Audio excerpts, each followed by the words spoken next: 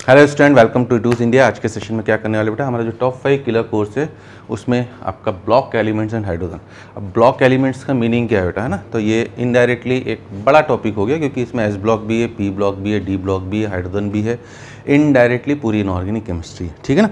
तो अब इसका रिविजन कैसे कराओगे सर है ना? तो थ्योरी तो बेटा देखिए, है ना? आपको एन बुक से पढ़नी है. एन बुक में वॉट एवर इज़ रिटर्न कुछ भी अपना दिमाग न लगाएँ. साफ़ साफ़ मैं कह रहा हूँ आपसे केवल एन बुक की एक एक लाइन को ढंग से पढ़ लें, ठीक है? और वो पढ़ना ही पड़ेगा बेटा, क्योंकि अगर आप जेई नीट जहाँ भी जाना चाहते हैं, जो भी एग्ज़ाम आप क्वालिफाई करना चाहते हैं तो ये थोड़ी सी तो कॉम्पिटिटिव एग्ज़ाम है, उसके लिए आपको भी कुछ अपनी मेहनत करनी पड़ेगी। ठीक है? तो केवल एन बुक से क्योंकि अगर आप किसी पर्टिकुलर इंस्टीट्यूट के नोट्स लेंगे बेटा, या किसी टीचर के नोट्स देखेंगे तो वो काफ़ी एग्जैगरेट करके चीज़ों को पढ़ाता है, खूब ज़्यादा, जिसकी ज़रूरत ही नहीं होती। और इस कोर्स का पर्पस क्या है? इस कोर्स का पर्पस है जो हम इजी इजी क्वेश्चन भी गलत करके आ रहे हैं, जो हमने जेई नीट के क्वेश्चन आपके लिए रखे हैं तो इसमें होपफुली मैं आपको पाँच डी और अप्रॉक्सीमेटली हर डीपीपी में थर्टी क्वेश्चन मतलब डेढ़ सौ क्वेश्चन के थ्रू मैं आपके सब कॉन्सेप्ट जो अभी तक जेई नीट नाइनटीन ट्वेंटी और ट्वेंटी वन में आए हैं, उनको क्लियर करूँगा। बस आपसे एक रिक्वेस्ट करूँगा बेटा, है ना? क्योंकि बाकी तो फ़िज़िकल केमिस्ट्री के टॉपिक थे बेटा एटलीस्ट उनमें मैं फॉर्मूले बता सकता था, कुछ कर सकता था, थोड़ा सा रिवाइज करवा सकता था। यहाँ पर रिविज़न के नाम पर बेटा एन बुक है तो प्लीज़ आप उसे एक बार ज़रूर फॉलो करें, ठीक है? थोड़ा सा मैं रफ आइडिया दे देता हूँ, जैसे एस ब्लॉक की बात करें तो एस ब्लॉक में जैसे प्रॉपर्टीज़ की बात करोगे बेटा फ़िज़िकल और केमिकल प्रॉपर्टीज़ आई होप वो हम पीरियोडिक टेबल में काफ़ी हद तक कवर कर लेते हैं, है ना? अब रही बात बेटा कंपाउंड्स की बात करते हैं, ठीक है ना? तो कंपाउंड्स में एस ब्लॉक में अगर आप देखोगे तो आपका एन के बारे में थोड़ी सी जानकारी है सोडियम कार्बोनेट सोडियम बाइकार्बोनेट और एन ख़त्म। कैल्शियम के बारे में बात करोगे तो कैल्शियम सल्फेट जो होता है है ना? उससे फिर आपका जो चिप्सम बनता है पीओपी बनता है, उन सब चीज़ों के बारे में थोड़ा सा रफ आइडिया ख़त्म। कुछ ज़्यादा नहीं है बेटा दो दो चार चार रिएक्शन से ठीक है ग्रुप थर्टीन बोरॉन फैमिली में आते तो बोरॉन और एल्यूमिनियम के बारे में ही थोड़ी सी बातें करी गई हैं, और बोरॉन के ज़रूर मैं इंपॉर्टेंट कंपाउंड्स रखूँगा लाइक डाइबोरेन ऑर्थोबोरिक एसिड और बोरेक्स इसके बारे में आइडिया होना चाहिए। एल्यूमिनियम के बारे में कुछ भी नहीं है ज़्यादा, केवल एलम के बारे में थोड़ा सा जानकारी कार्बन फैमिली में आ जाए बेटा तो कार्बन और सिलिकॉन हर फैमिली में शुरू के दो एलिमेंट ही इंपॉर्टेंट है। कार्बन और सिलिकॉन इंपॉर्टेंट है, और कार्बन में इंपॉर्टेंट क्या है? उसके एलोट्रॉप्स है ना? डायमंड हुआ ग्रेफाइट हुआ सी सिक्सटी हुआ, ये सब इंपॉर्टेंट है। ठीक है जी? और रही बात अगर हम बात करते हैं सिलिकॉन सिलिकॉन की तो उसमें सिलिकेट्स और सिलिकॉन्स इंपॉर्टेंट हैं, जो आप इनडायरेक्टली बॉन्डिंग में इधर उधर कवर करते ही हो। ठीक है जी? फिर बात करते हैं बेटा नाइट्रोजन फैमिली की तो नाइट्रोजन इंपॉर्टेंट है। फ़र्स्ट और सेकेंड ही इंपॉर्टेंट है। नाइट्रोजन में अमोनिया इंपॉर्टेंट है। नाइट्रोजन की मेथड ऑफ़ प्रिपरेशन इंपॉर्टेंट है। नाइट्रोजन के पाँच ऑक्साइड्स जो एन बुक में आप देखोगे तो एक टेबल में एक एक लाइन में बस गिवन है। एक एक लाइन बस। फिर नाइट्रोजन के ऑक्सी एसिड्स में नाइट्रिक एसिड काफ़ी इंपॉर्टेंट है, वो गिवन है। फॉस्फोरस की बात करें बेटा तो थोड़ा rough idea P four O six P four O ten P C L five ठीक है ना? P C L three phosphorus के एलोट्रॉप्स वाइट रेड येलो के बारे में वाइट रेड और ब्लैक के बारे में थोड़ा सा जानकारी है। और इसके अलावा फॉस्फोरस के oxy acids are very very much important very very much important और उनके ऊपर काफ़ी भर भर के क्वेश्चन आए भी। ऑक्सीजन फैमिली में ऑक्सीजन की मेथड ऑफ़ प्रिपरेशन इंपॉर्टेंट है और उसके बाद सल्फ़र की बात करें ओनली सल्फ्यूरिक एसिड हेलोजन और छोटा हो जाता है। सबसे इंपॉर्टेंट इसमें मैं रखूँगा थर्टीन फोर्टीन और फिफ्टीन को बोरॉन वाले कंपाउंड्स कार्बन वाले और नाइट्रोजन और फॉस्फोरस वाले। अब सिक्सटीन में जाते हो तो ऑक्सीजन की मेथड ऑफ़ प्रिपरेशन है बेटा। सल्फ़र की बात करें तो सल्फ़र के एलोट्रॉप्स के बारे में थोड़ा सा आइडिया और सल्फ़र के कंपाउंड में केवल H2SO4 है, बस। और सल्फ़र के ऑक्सी एसिड्स जो आप इनडायरेक्टली बॉन्डिंग में पढ़ते ही रहते हो, ठीक है? हेलोजन फैमिली में जाएँगे और कम यूज़ हो जाता है। थोड़ा सा rough idea about the interhalogen compound उनके hydrolysis rough comparison of H F S C L H B R H I खत्म। ऑक्सी एसिड्स के बारे में थोड़ा सा रफ आइडिया ठीक है मतलब आधे घंटे में आप निपटा सकते हो, बस एन बुक e पढ़ोगे तो। और इसने भी, इसमें भी मैं आपको बता दूँ बेटा, और हेलोजन में जाए इनर्ट गैसेस में जाएँगे तो उनके तो कंपाउंड होते ही नहीं कि जिनॉन के ही Xe F two Xe F four Xe F six इनका हाइड्रोलिसिस वगैरह खत्म, ठीक है? तो आपको मैं बस ये बता रहा हूँ कि ये जो ब्लॉक्स आप पढ़ोगे बेटा, इनमें 90 परसेंट चीज़ें तो आपको पता ही होंगी। केवल 10 से 15 मतलब 85 टू 90 बोला 10 से 15 परसेंट नई चीज़ें होती हैं तो वो ज़रूर मैंने एक रफ ओरली रिवीजन करा दिया है, ठीक है? और इसमें हमने क्वेश्चंस इसलिए सब ब्लॉक के ले लिए हैं कि क्वेश्चंस के थ्रू मैं आपको रिवीजन करूँगा। Let's start our session the one that is extensively use as a piezoelectric material है ना?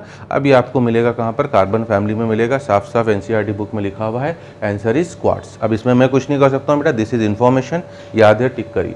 Correct statement A to D regarding silicones अभी मैंने बोला ही था सिलिकॉन्स के ऊपर क्वेश्चन आया। They are polymers with hydrophobic character बिल्कुल सही है बेटा। जो अभी हमारे रैनकोट बनते हैं अम्ब्रेला बनते हैं, उनमें सिलिकॉन्स होते हैं। दे आर बायो कॉम्पिटेबल सही है।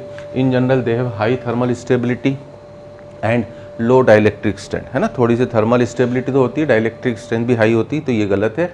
Usually they are resistance to oxidation and use as greases ठीक है?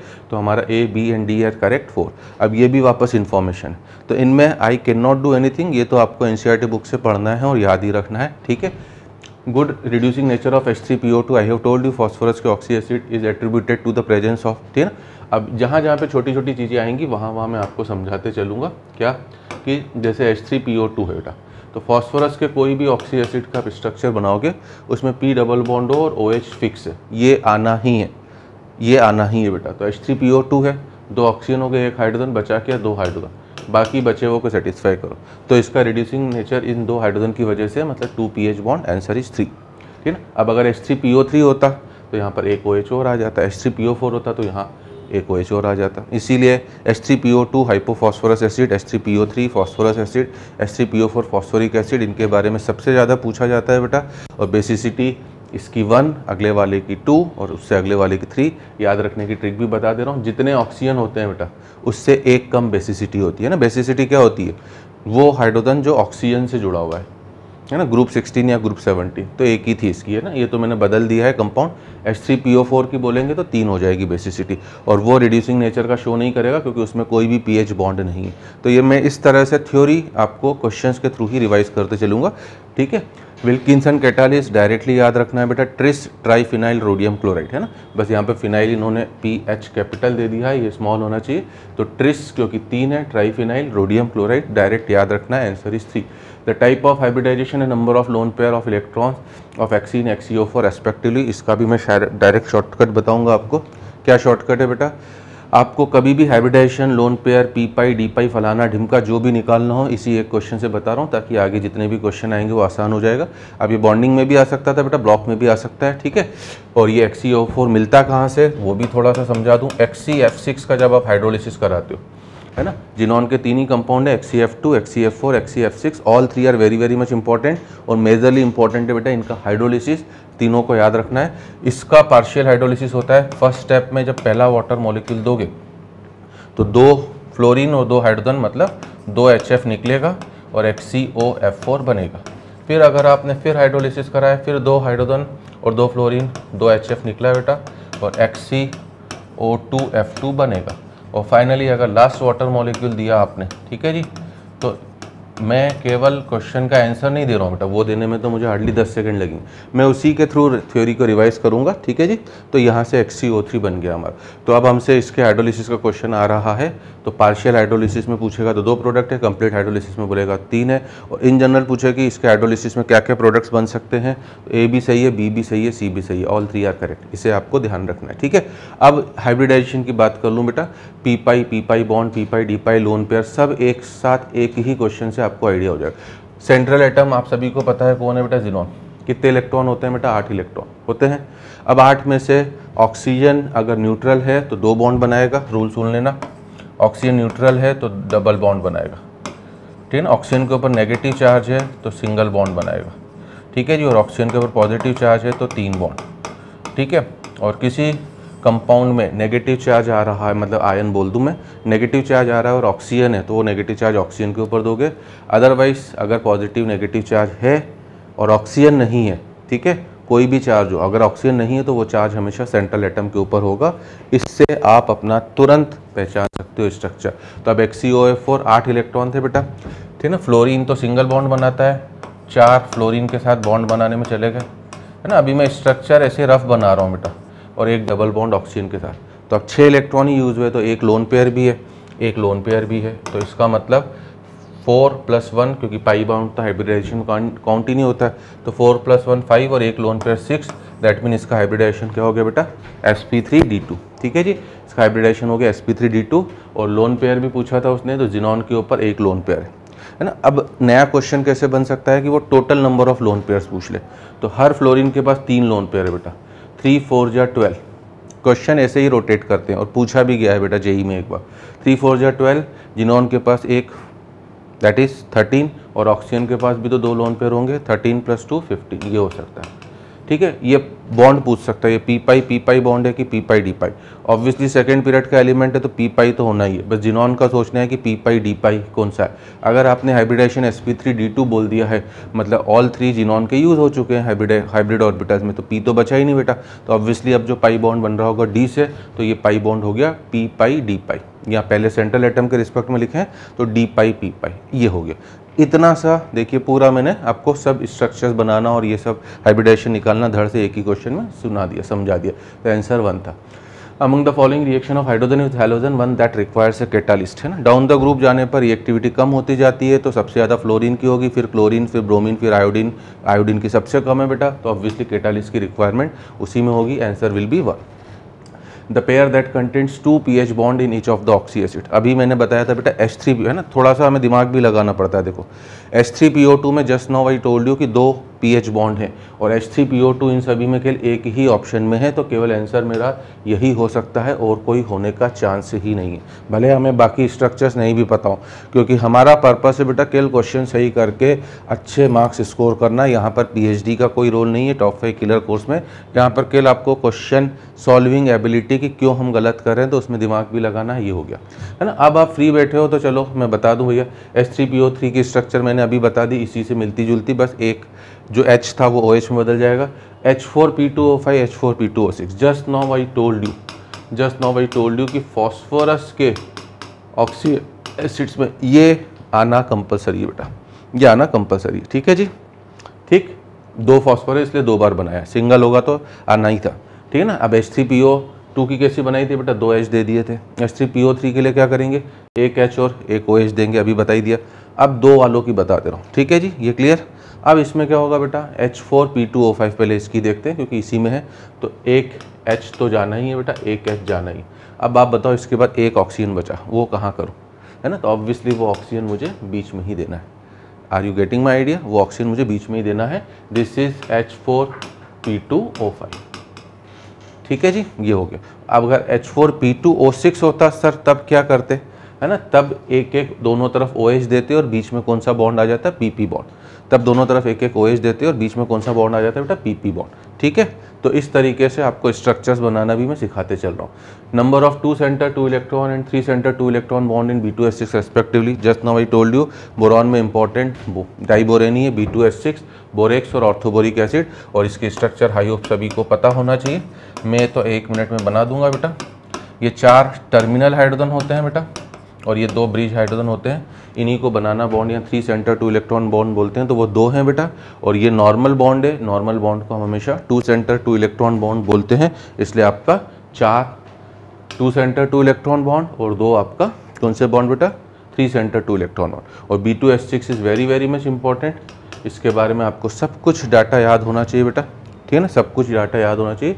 ये दोनों ब्रिज आउट ऑफ़ प्लेन होते हैं। एक बोर्ड के बाहर, एक अंदर है। Total number of atoms in a plane बोलेगा। तो ये तीन एक प्लेन में है, ये तीन एक प्लेन में बोरॉन के साथ। छः हाइब्रिडाइजेशन बोलेगा तो एस ओवरऑल बोलेगा तो पोलरिटी में नॉन पोलर है और प्लेनरिटी बोलेगा तो नॉन प्लेनर है। ठीक है जी? चलिए। ठीक ना? तो answer is two the chloride that can not get hydrolyse direct NCERT book मैंने बोला, ये बेटा पढ़ना है। C C L four is the answer why क्योंकि कार्बन के पास कोई भी वैकेंट ऑर्बिटल नहीं है तो इसका हाइड्रोलिसिस आसानी से होने वाला नहीं, ठीक है ना? ड्रेस्टिक कंडीशन में होता है और फॉस्जिन बनता है C O C L two hydride that is not electron deficient group thirteen वाले बेटा, अभी बी टू एच सिक्स आया G A S three L S three सब में तीन बॉन्ड का मतलब छः इलेक्ट्रॉन है तो इलेक्ट्रॉन डिफिशियंट है। ग्रुप 14 का हाइड्राइड कभी भी इलेक्ट्रॉन डिफिशियंट नहीं होता है ठीक है? और ग्रुप 15, 16, 17 के हाइड्राइड को हम इलेक्ट्रॉन रिच हाइड्राइड बोलते हैं क्योंकि उनमें एक एक लोन पेयर बच रहा है। एन हो एच हो और HF हो है ना? तो थ्योरी क्वेश्चन के थ्रू रिवाइज हो रही है ठीक है? Iodine reacts with concentrated H to yield Y along with other product oxidation state of iodine Y अभी आपसे बोल दिया था, बेटा nitric acid is very very much important और नाइट्रिक एसिड का रूल है बेटा कि अगर वो किसी भी नॉन मेटल के साथ रिएक्ट करेगा it is a powerful oxidising agent तो वो उसे हमेशा किस एसिड में बदल देता है? एक एसिड हमेशा कौन से एसिड में बदल देता है? एक एसिड है ना? सब जेई के क्वेश्चन है बेटा और यही क्वेश्चन वापस आएँगे इस साल भी गारंटी ले रहा हूँ मैं आपसे। डेढ़ सौ क्वेश्चन से बाहर तो जा ही नहीं सकता है। ठीक है? तो एक एसिड बनता है बेटा, जैसे कार्बन हुआ तो carbonic acid H two C O three silicon हुआ तो सिलिसिलिक एसिड फॉस्फोरस हुआ तो फॉस्फोरिक एसिड सल्फ़र हुआ तो सल्फ्यूरिक एसिड यहाँ पर आयोडीन है बेटा आयोडीन है तो आयोडिक एसिड और आयोडिक एसिड क्या होता है हमारा? H I O three iodic acid क्या होता है बेटा? एच आई ओ थ्री तो यहाँ पर हम बोलेंगे आयोडीन की ऑक्सीडेशन नंबर प्लस फाइव वही उसने बोली है answer will be one element that does not show catenation केवल ग्रुप 14 के एलिमेंट्स में ही कैटेनेशन टेंडेंसी होती है।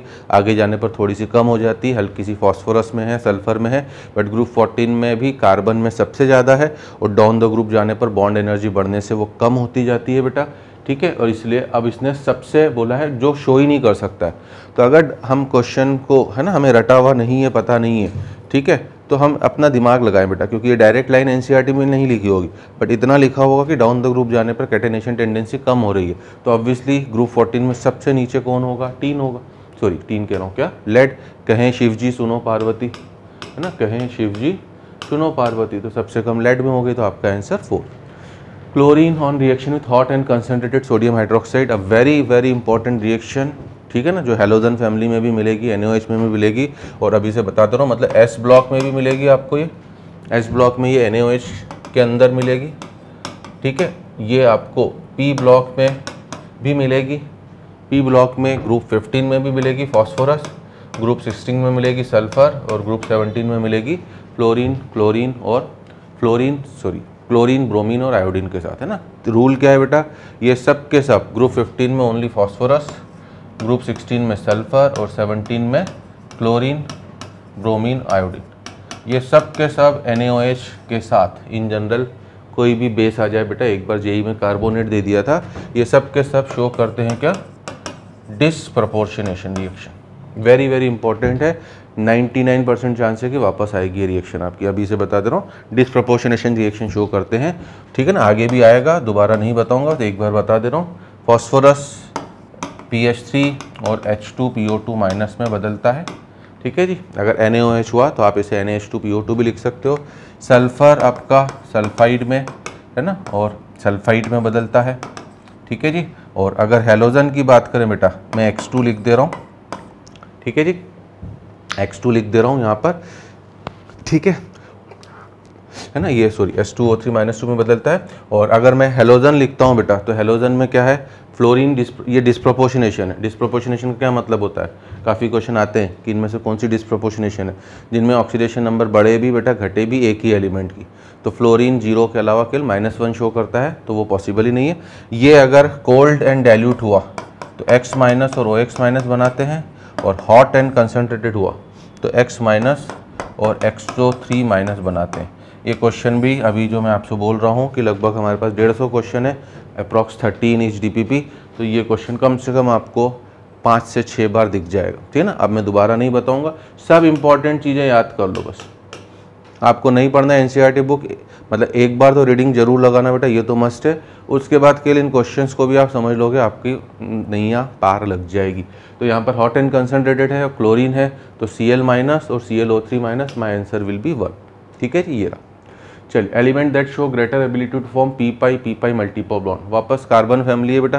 कार्बन में मल्टीपल बॉन्ड बनाने की टेंडेंसी ऑब्वियसली सबसे ज़्यादा किसमें होगी बेटा? कार्बन में। वैसे भी बोल सकते हैं सेकेंड पीरियड का एलिमेंट है तो इसका है ना? जितना नीचे जाएँगे बेटा पाई बॉन्ड ऑर्बिटल की शेप बड़ी होने से वीक होता जाएगा। तो carbon will be the answer ठीक है? ऑक्सीडेशन स्टेट ऑफ़ पोटेशियम अब देखिए, ऐसे ऐसे सिंपल सिंपल क्वेश्चन पूछता है। अब ये डायरेक्ट एनसीईआरटी बुक में एस ब्लॉक में गिवन है। अब पोटेशियम की हमें पता है बेटा ऑक्सीडेशन नंबर हमेशा प्लस वन होती है तो सभी में प्लस वन होगी ना? ये ऑक्साइड है, ये पर है और ये सुपर ऑक्साइड है ना? इसमें ऑक्साइड आयन है ओ माइनस टू इसमें सुपर पर है ओ टू माइनस टू और इसमें सुपर ऑक्साइड है that is O two minus तो ऑक्सीजन की पूछता तब भी क्वेश्चन अच्छा होता। पोटेशियम की तो हमेशा ही प्लस वन है बेटा। ठीक है जी? तो हमारा आंसर वन हो गया। ठीक? अगला number of S O bond in S two O eight minus two and number of S S bond in rhombic sulphur direct बेटा स्ट्रक्चर्स पता होना चाहिए।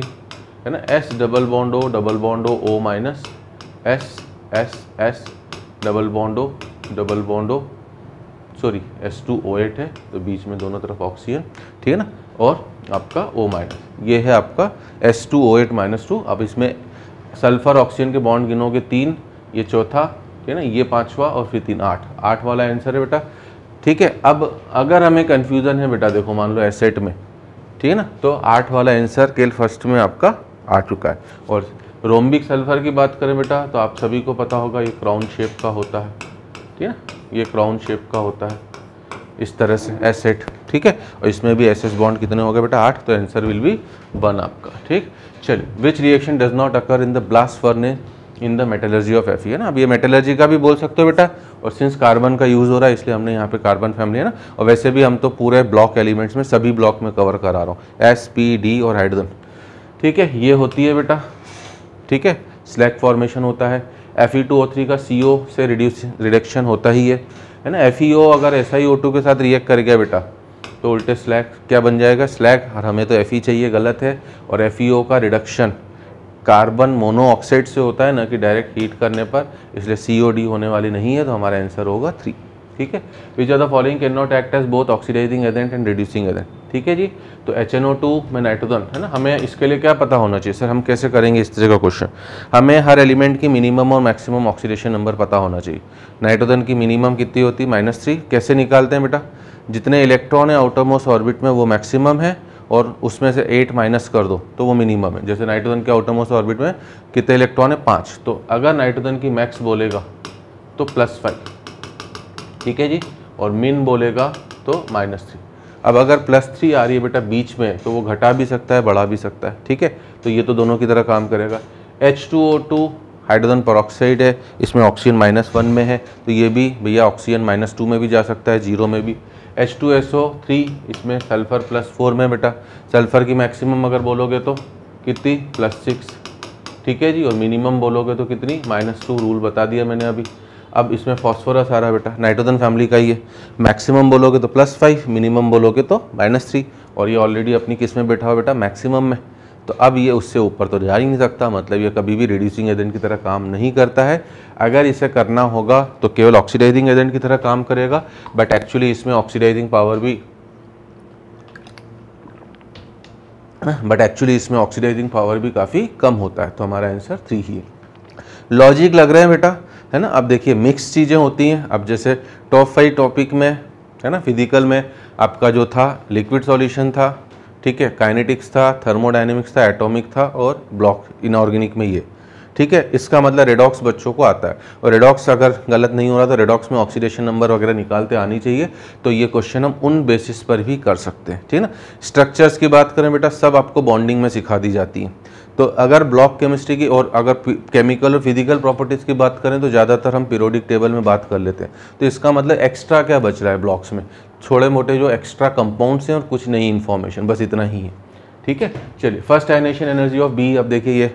अब ये इसको हम एस ब्लॉक पी ब्लॉक का भी क्वेश्चन बोल सकते हैं या पीरियोडिक का भी बोल सकते हैं। है ना? बी की हायर होती है किससे? बोरॉन से। तो वी ऑलरेडी नो है ना? क्यों क्यों होती है भैया? बी का electronic configuration one s two two s two है। और बोरॉन का one s two two s two two p one. तो हमें पता है भैया ये एस है, इसकी शील्डिंग क्या होती है? इसका शील्डिंग इफ़ेक्ट ज़्यादा होता है, ठीक है ना? पेनिट्रेशन पावर ज़्यादा होता है फुली फ़ील्ड है। लेफ़्ट टू राइट जाने पर हम बोलते हैं आयोनाइजेशन एनर्जी बढ़ती है बेटा बट एक्सेप्शन अगर सेकेंड पीरियड की बात करें, एक बेरिलियम और बोरॉन में इंटरचेंज होता है और एक नाइट्रोजन और ऑक्सीजन में वहाँ पर हाफ़ फ़ील्ड वाला रीज़न आ जाता है, यहाँ पर एस और पी का रीज़न आ जाता है, ठीक है ना? ठीक है जी? और हाफ़ फ़ील्ड फुल फ़ील्ड वाला रीज़न और एस और पी वाला रीज़न कि किस ऑर्बिटल से निकल रहा है। ये केवल और केवल कॉन्जिक्यूटिव एलिमेंट्स के ऊपर ही लगते हैं। ये केवल और केवल कॉन्जिक्यूटिव एलिमेंट्स है ना? तो ये देखिए, मैंने रिवाइज करवा दिया आपको। अब पढ़ लेते हैं बेटा। It is easier to extract electron from two p orbital than two s correct penetration power of two s orbital is greater than two p ये भी सही है बेटा। Shielding of two p electron by two s electron सही है। Radius of boron atom is larger than that of B गलत है। Periodic table में लेफ़्ट टू राइट जाने पर साइज़ कम होती है बेटा, इसलिए हेलोजन अपने रेस्पेक्टिव पीरियड में अगर हम इनर्ट गैस को छोड़ दे तो लोएस्ट होते हैं, जबकि एल्कली मेटल लार्जेस्ट साइज़ की होती हैं। ठीक है जी? तो हमारा answer one two three correct मतलब वन टू थ्री करेक्ट किसमें है? फोर में, वो हो गया। A substance X having low melting point and does not conduct electricity in both solid and liquid state X can be. ठीक है जी? तो केवल और केवल C C L four S I C भी हो सकता था बेटा कार्बोरेंडम बट इसका मेल्टिंग पॉइंट हाई होगा क्योंकि ये क्या है आपका? नेटवर्क सॉलिड बनाता है। जेड एन एस तो आयनिक है बेटा, और ये तो आपका मेटल है लिक्विड फॉर्म में है तो कंडक्टिविटी इसकी होगी होगी। ठीक है जी? Compound B three N three H three C L three reacts with L I B H four to form inorganic benzene अब इनऑर्गेनिक बेंजिन क्या होती है बेटा? हमें पता ही होना चाहिए। ऑर्गेनिक बेंजिन क्या होती है? भूलना आपका जन्म सिद्ध अधिकार है बेटा। हमारा भी, हम भी भूलते हैं तो हम लिंक करते हैं। सी एक्सिस उसमें छः नाइट्रोजन छः कार्बन जो है बेटा, उसकी जगह आधे नाइट्रोजन और आधे बोरॉन डाल दो, क्योंकि इसके पास छः इलेक्ट्रॉन है बेटा, इसके पास पाँच है और इसके पास सात है। ठीक है? हो गया बारह का कॉम्बिनेशन ठीक है? और एच सिक्स ये है इनऑर्गेनिक बेंजीन ठीक है जी? अब वो बोल रहा है कि ए वापस, अब जैसे ये एन बुक में नहीं लिखा हुआ मिलेगा तो कुछ क्वेश्चन वो नए भी देगा बेटा, है ना? चाहता तो मैं इसे स्किप कर सकता था बट मैंने पर्पसली डाला है कि थोड़ा सा आपको अपना दिमाग भी लगाना पड़ेगा, क्योंकि आप जेई और नीट में है ना, कि एग्ज़ाम दे के उनमें अच्छे कॉलेजेस में जाना चाहते हो तो फिर थोड़ा बहुत प्रेजेंस ऑफ़ माइंड भी लगेगा आपका। ठीक है? और वो क्या लगेगा कि अब आगे देखें बेटा तो अभी हमें चलो फ़र्स्ट वाली रिएक्शन नहीं पता है। A reacts with C to form C three N three H three C H three होता है। अब हमें दिख रहा है बेटा जो बी थ्री एन थ्री तो है ही। एच जो छः थे, उसमें तीन बचे हैं और तीन सी एच थ्री आ गए हैं तो ऑब्वियसली सी में मिथाइल ग्रुप होना चाहिए। है ना और मिथाइल ग्रुप देने का काम directly M E B R तो नहीं देगा एम ई आर देगा तो इन दोनों में से कोई एक होना चाहिए। मतलब ऊपर भी मैं बात कर रहा हूँ बट अब हमें इनऑर्गेनिक बेंजिन भी पता होना चाहिए बेटा। Boron nitride is not inorganic benzene boron nitride को हम इनऑर्गेनिक ग्रेफाइड बोलते हैं, क्योंकि इनडायरेक्टली ये केल बी और एन है बेटा। ये केल बी और एन है। तो बोराजिन फॉर्मूला तो ये है बेटा बट उसे बोराजिन बोला जाता है, इसलिए हमारा आंसर कौन सा हो जाएगा? फोर्थ वाला। ठीक है? थोड़ा बहुत दिमाग भी लगाएँगे हम। On heating compound A gives a gas B which is in which is a constituent of air ठीक है ना? एयर के कॉन्स्टिट्यूंट मेजरली तो नाइट्रोजन और ऑक्सीजन ही पता है बेटा, आगे देखते हैं। अब हमें हीटिंग इफ़ेक्ट की बात है बेटा, सभी का पता होना चाहिए। नाइट्रेट्स का हीटिंग इफ़ेक्ट एल्कली मेटल के नाइट्रेट का अलग होता है, बाकियों का होता है बेटा ऑक्साइड मिलना NO2 और O2 तो कॉन्स्टिट्यूंट ऑफ़ एयर ये हो गया। ये दोनों तो सबसे इंपॉर्टेंट हीटिंग इफ़ेक्ट हैं, जो पता नहीं कितनी बार पूछे गए हैं, आगे भी पूछेगा। इसका हीटिंग इफ़ेक्ट है बेटा N2 plus C R two O three plus water का बनना। तो ये कॉन्स्टिट्यूंट ऑफ़ किसका हो गया बेटा? Air N H four N O two का heating effect very very much important N two plus two H two O ये हो गया। और बेरियम एजाइड है ना, ये सब नाइट्रोजन फैमिली में आपको मिलेंगे बेटा। अब ये आपको डी ब्लॉक में भी मिलेगा। ये नाइट्रोजन फैमिली में भी मिलेंगे क्योंकि actually these are the methods of preparation of किसकी? नाइट्रोजन और इसमें भी हमें नाइट्रोजन मिलता है। ठीक है जी? अब उसने आगे बोला है बेटा this gas when treated with H two in presence of a catalyst है ना gives another gas C which is basic in nature अब अगर O2 होता बेटा तो O2 H2 के साथ रिएक्ट करता तो H2O बन जाता, ठीक है? H2O बन जाता तो H2O तो न्यूट्रल होता है बट अगर N2 होता तो N2 H2 के साथ रिएक्ट करता है। आपको पता है कैटालिस्ट के तौर पर अमोनिया भी मोस्ट इंपॉर्टेंट कंपाउंड है गिवन भी है आपको एन बुक में। कैटालिस्ट के तौर पर हम एफ़ बोलते हैं बेटा, और कैटालिटिक प्रोमोटर के तौर पर मोलिब्लिटिनम बट एन बुक में लिखा है कि आजकल हम, है ना L L two O three को यूज़ करते हैं कैटालिस्ट के तौर पर, इसलिए एन पढ़ना ज़रूरी है बेटा एक बार, ठीक है?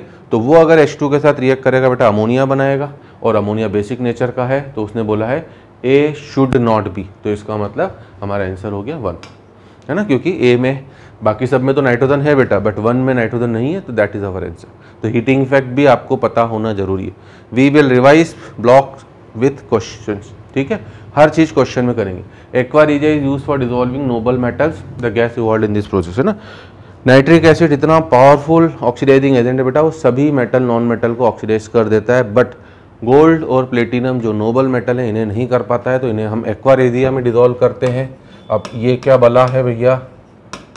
है ना aqua regia is basically mixture of H C L and H N O three in three is to one ratio और इसकी बेसिक रिएक्शन फिक्स है बेटा। इसमें आपको ये याद ही रखना पड़ेगी एनओ मिलता है, एक नाइट्रोजन, एक ऑक्सीजन, तीन और एक चार हाइड्रोजन है तो दो एच टू ओ और बच गए दो क्लोरीन, कितने क्लोरीन सॉरी तीन क्लोरीन, ये रहा थ्री ए सी एल ये सी एल जो है नेसेंट क्लोरीन यही यह पावरफुल ऑक्सीडाइजिंग एजेंट है और ये काम करता है बेटा ए यू को A U C L three में ऑक्सीडाइज करने का और पी टी को P T C L four में ऑक्सीडाइज करने का। ये काम करता है ए को ए यू और टी को पी टी में ऑक्सीडाइज करने का। तो ये कहानी होती है हमारी, ठीक है? हमसे उसने राइट नाउ गैस पूछी, बेटा, ये याद रखना ज़रूरी है। वो गैस केवल आपकी कौन सी है बेटा? एनो ठीक है? तो first will be the answer if the boiling point of H two is three seventy three kelvin है ना? अब मैं अगली चीज़ बता दूँ बेटा ग्रुप पंद्रह सोलह और सत्रह। इनके हाइड्रेट जो फ़र्स्ट मेंबर है एन एच थ्री इसका वाटर इसका एच एफ़ है ना? इसमें नीचे फॉस्फीन आएगा नाइट्रोजन फॉस्फोरस आर्सेनिक एंटीमनी इसमें H two S H two S C H two T ठीक है ना? इसमें H F H C L H B R और एच आई इनके जो फ़र्स्ट मेंबर्स हैं बेटा, इनमें तीनों में हाइड्रोजन बॉन्डिंग होती है और तीनों ही काफ़ी ज़्यादा इंपॉर्टेंट है। इनके हाइड्रेट्स के ऊपर, है ना? इनका पॉइजनस नेचर इनकी थर्मल स्टेबिलिटी इनकी बॉन्ड लेंथ ठीक है ना? इनका रिड्यूसिंग नेचर सब के ऊपर भर भर के क्वेश्चन आते हैं मेल्टिंग पॉइंट बॉइलिंग पॉइंट के ऊपर। कंपल्सरीली याद रखना ज़रूरी है। नहीं याद रखोगे बेटा, आप अपना नुकसान करोगे। वेरी वेरी मच इंपॉर्टेंट ठीक है? तो जितने क्वेश्चंस आए हैं बेटा, अगर हम उन सब इंफॉर्मेशन को ही, ठीक है? भले आप एनसीईआरटी बुक एक बार जस्ट रीडिंग मार के फिर इन पूरे क्वेश्चन को देख लो बेटा। और फिर केवल जो क्वेश्चन पूछे गए हैं, केवल आप इनको भी ढंग से कर ले जाओगे। गारंटी इसके बाहर क्वेश्चन नहीं जाएगा। ठीक है जी? ठीक है जी? ध्यान रखिएगा इस चीज़ को, ठीक? तो यहाँ पर अब अगर मैं बात करता हूँ ठीक है? तो अब H2O में हमें पता ही बेटा, उसका बॉइलिंग पॉइंट 100 डिग्री सेल्सियस होता है दैट इज़ 373 केल्विन तो H2S का बोल रहा है? ठीक है ना? H2S का बोल रहा है भाई अब H2O रूम टेम्परेचर पर लिक्विड है बेटा 373 से तो पक्का कम होगा, है ना? तो ये दो ऑप्शन तो गए, क्योंकि बॉइलिंग पॉइंट ज़्यादा है। अब एक है बेटा 300 केल्विन से भी कम, एक है 300 से ज़्यादा बट 373 से कम। यहाँ पर कन्फ्यूज़न हो सकता है, क्योंकि बॉइलिंग पॉइंट मुझे भी याद नहीं है एच का और आपको भी याद रखने की ज़रूरत नहीं है। बट उस कन्फ्यूज़न को कैसे दूर करोगे बेटा? एच रूम टेम्परेचर पर लिक्विड है, जबकि एच टू एस गैस है। ठीक है ना? तो ऑब्वियसली रूम टेम्परेचर मतलब 25 डिग्री सेल्सियस रफली 27 भी लूँ तो 300 तो अगर एच टू पर लिक्विड है और एच टू एस गैस है तो उसका तो बॉइलिंग पॉइंट और भी कम होना चाहिए, इसलिए correct answer will be four greater than 300 but less than 373 sorry क्या बोल रहा हूँ? है ना लेस देन 300 लॉजिक सही बता दिया आंसर गलत टिक कर दिया। तो 300 से भी कम होना चाहिए, क्योंकि वो तो गैस है बेटा। और H2O तो 300 पर लिक्विड है तो 300 से भी कम होना चाहिए। ठीक है ना? In a molecule of pyrophosphoric acid अब पायरोफॉस्फोरिक एसिड का फॉर्मूला आपको पता होना चाहिए बेटा, है ना? ऑर्थोफॉस्फोरिक एसिड ऑर्थो किन एसिड्स के आगे आता है है ना? देखिए, मैं क्या कह रहा हूँ कि हम एक बार रफ रीडिंग मार के इन डेढ़ सौ क्वेश्चन को भी रफ कर ले, ख़त्म का H three P O four ये फॉस्फोरिक एसिड है बेटा, और इसमें अगर आपका, इसमें अगर आपका, ठीक है ना, इसके एक मॉलिक्यूल से वाटर का एक मॉलिक्यूल निकाल सकते हैं तो हम इसे पायरोफॉस्फोरिक मतलब सॉरी इसे ऑर्थो भी बोल सकते हैं ना। तो कॉमनली बच्चों के ऑर्थो पायरो जो वर्ड लग जाते हैं ना, उनसे कन्फ्यूज़न होता है। तो H three P O four actually it is a phosphoric acid but आप इसे ऑर्थो भी बोल सकते हो, क्योंकि एक मॉलिक्यूल से वाटर निकल सकता है ना। हम H two S O four के केस में हम H2SO4 के केस में, है ना माइनस एच कर दें तो इसे हम ऑर्थो सल्फ्यूरिक एसिड नहीं बोल सकते। क्योंकि पानी निकालने के बाद भैया वापस एसिड ही बनना चाहिए था। यहाँ बनना है, वहाँ नहीं बना है, ठीक है? तो ये ऑर्थोफॉस्फोरिक एसिड है बेटा, ये मेटाफॉस्फोरिक एसिड है, ठीक है जी? ये ऑर्थो है और ये मेटा है, ठीक है? और अगर ऑर्थो के दो मॉलिक्यूल्स लेकर आपने एक वाटर निकाला तो बनता है पायरो रूल अब आपको पता होना चाहिए। अगर हम इसके दो मॉलिक्यूल्स लेके, है ना? चलो, मैं यहाँ अलग से लिख दे रहा हूँ। अब दो मॉलिक्यूल्स लिए बेटा two H three P O four ठीक है जी? और दो में से वाटर निकालना है तो H कितने हो गए बेटा? छः दो चले गए तो H four P two O seven H four P two O seven ये पायरो है। है ना? स्ट्रक्चर उसने, मैंने आपसे बोला, ये फॉस्फोरस के ऑक्सी एसिड सल्फ़र के ऑक्सी एसिड तो मोस्ट इंपॉर्टेंट केवल जो एनसीईआरटी बुक में गिवन है, अगर आप उन्हें भी देख लोगे तो मज़ा आ जाएगा। अब स्ट्रक्चर बेटा, अभी मैंने आपसे बोला था, है ना? देखो, अगर स्ट्रक्चर में कुछ कंफ्यूजन है तो मैंने आपसे बोला था this is the structure of किसकी? फॉस्फोरिक एसिड एच थ्री अभी बता चुका हूँ। अब ये दूसरा फॉस्फोरिक एसिड भी ले आओ। आपको थोड़ा थोड़ा अपना भी दिमाग लगाना पड़ सकता है बेटा, है ना? ये ले आए। एग्रीड वाटर निकलना है बेटा तो निकाल दो वाटर हटा दो। अब उसने यही चीज़ पूछी है पी ओ एच बॉन्ड तो पी ओ एच बॉन्ड कितने नज़र आ रहे हैं बेटा? चार। चार। पी डबल बॉन्ड हो, दो। और उसने बोला है पी ओ पी बॉन्ड ये एक है पी ओ पी बॉन्ड मतलब हमारा आंसर कौन सा हो गया बेटा? फोर टू और वन दैट इज़ है ना? Second will be the answer ये हो गया। ठीक है जी? और अब अगर मेरी टेक्निक से बोलो बेटा, मैंने अभी बोला था, हर फॉस्फोरिक एसिड में पी डबल बॉन्ड हो, ये ग्रुप होना ही चाहिए। दोनों तरफ़ देखो एक एक को फिक्स कर दो। अब उसके बाद अगर, बस अब इसके लिए एक चीज़ ज़रूर थी बेटा कि फार्मूला पता होना चाहिए। H four P two O seven वो नहीं पता है तो फिर गड़बड़ हो जाएगी। तो अगर फार्मूला पता है H four P two O seven phosphorus दो आ गए ऑक्सीजन चार आ चुके हैं बेटा। अभी भी तीन ऑक्सीजन बचे हैं। हाइड्रोजन केवल दो ही आए अब क्या पॉसिबिलिटी बच रही बेटा? ऑक्सीजन हाइड्रोजन हमेशा अगर हाइड्रोजन अभी दो हैं और ऑक्सीजन तीन है तो हाइड्रोजन को ऑक्सीजन से ही जुड़ना है तो दोनों तरफ़ ओ एच ओ एच दे दो। और अब एक ऑक्सीजन बच रहा है तो बीच में डालना ही पड़ेगा। बस फॉर्मूला पता होता तो काम कर लेते, और उसकी भी ट्रिक मैंने आपको बता दी। ठीक है जी? चलिए। ठीक, अगला क्वेश्चन बोलते हैं बेटा, क्या बोल रहा है? On heating lead to nitrate अभी मैंने इसका हीटिंग इफ़ेक्ट बता दिया बेटा। P B O plus N O two plus O two A brown gas brown gas होती है बेटा एन ओ टू ये है। The gas A on cooling changes to a colourless solid liquid B that is N two O four dimer बन जाता है ना बेटा because NO two is odd electron molecule bonding में भी पढ़ते हैं। पी ब्लॉक में भी पढ़ोगे। B on heating with NO changes to a blue solid it is a very important reaction two N O plus N two O four है ना? मैंने अभी बोला था बेटा नाइट्रोजन के है ना? नाइट्रोजन के ऑक्सी ऑक्साइड जो है एक टेबल के फॉर्म में, एक एक लाइन में पाँच बस लाइनें हैं। उनका फॉर्मूला उनकी स्ट्रक्चर उनकी मेथड ऑफ़ प्रिपरेशन ख़त्म कहानी। और उनका कलर वाला। ये इतना सा है। तो ये उसकी मेथड ऑफ़ प्रिपरेशन है बेटा। N two O three blue solid कई बुक्स में ब्लू लिक्विड भी लिखा होता है। अब उसने oxidation number of nitrogen in solid C बोला है। तो इसमें नाइट्रोजन के oxidation number plus three so my answer will be one clear खत्म।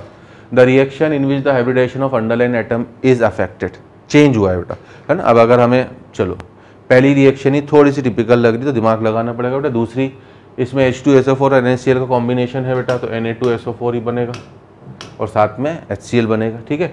N H three H plus में गया तो एन एच फोर प्लस यहाँ पे भी एस पी थ्री यहाँ पे भी S P three sulphate sulphate है no change H three P O two का disproportionation again a important reaction you have to remember phosphorus के ऑक्सी एसिड्स में गिवन भी है बेटा। ये H three P O three और पी एच थ्री बनाता है। पी एच थ्री में तो कोई हाइड्रोलिसिस हाइब्रिडेशन नहीं होता है but H three P O three में वापस सेम है। और ज़्यादा गर्म करोगे तो H three P O four भी बना सकता है, ठीक है? तो यहाँ पे भी चेंज नहीं है तो बचा ऑप्शन कौन सा? वन मैं मान सकता हूँ बेटा, कई बच्चों को फ़र्स्ट रिएक्शन नहीं पता होगी, ठीक है? बट अगर हमें एक क्वेश्चन में एक चीज़ नहीं पता बेटा तो फिर बाकियों से थोड़ा सा दिमाग लगाने की हम कोशिश करें। वो इंपॉर्टेंट है, ठीक है ना? बट अब ये पता हो, ये भी होना ज़रूरी है बेटा because X C F four आ रहा है। जिनॉन के केवल तीन ही कंपाउंड है बेटा, और उसमें एन बुक में वापस लिखा हुआ है कि ये फ्लोराइड डोनर और फ्लोराइड एक्सेप्टर दोनों की तरह काम कर सकते हैं। डोनर मतलब डोनर मतलब डोनेट करेंगे बेटा सामने वाले को, ठीक है? और एक्सेप्टर मतलब एक्सेप्ट करेंगे। तो एल्कली मेटल मतलब एस ब्लॉक वालों से ये एक्सेप्ट करते हैं, ठीक है? क्योंकि एस ब्लॉक की ज़्यादा टेंडेंसी होगी ना बेटा देने की, ठीक है ना? एन है तो एन प्लस और एफ़ माइनस आइनिक बॉन्ड है।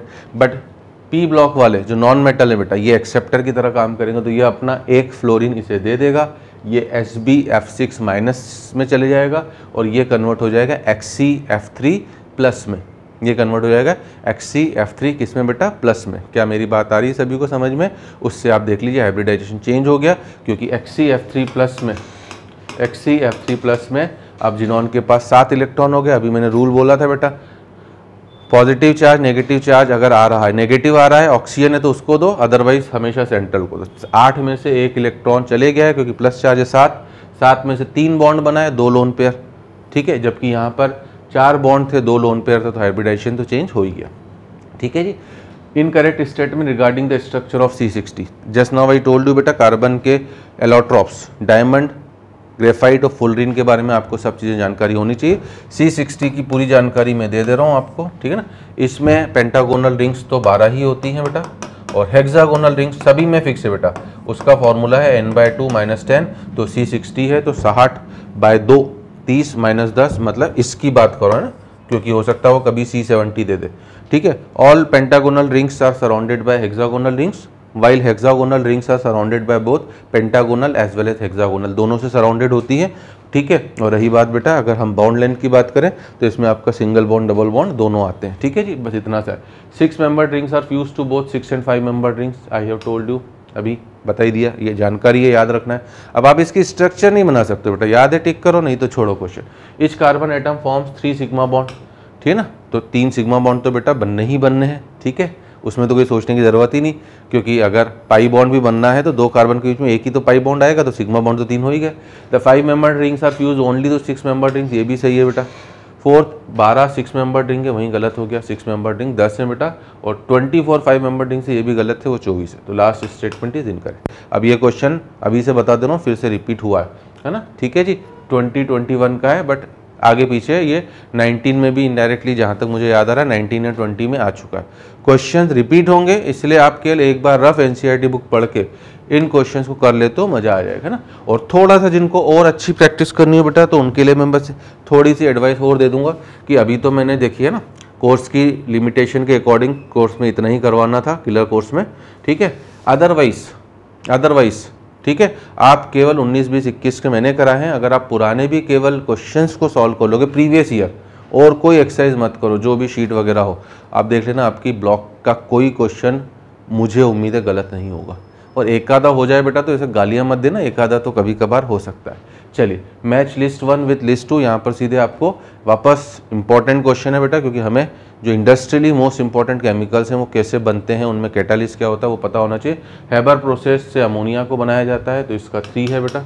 मैं नीचे, देखो, आपको अगर डाउट है तो आप नीचे आंसर भी देखते चलो।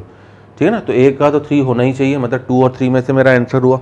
ओसवाल्ट प्रोसेस ओसवाल्ट प्रोसेस से बेटा नाइट्रिक एसिड बनाते हैं तो बी का हो गया वन मतलब मेरा आंसर हो गया थ्री आगे मुझे चेक करने की ज़रूरत नहीं।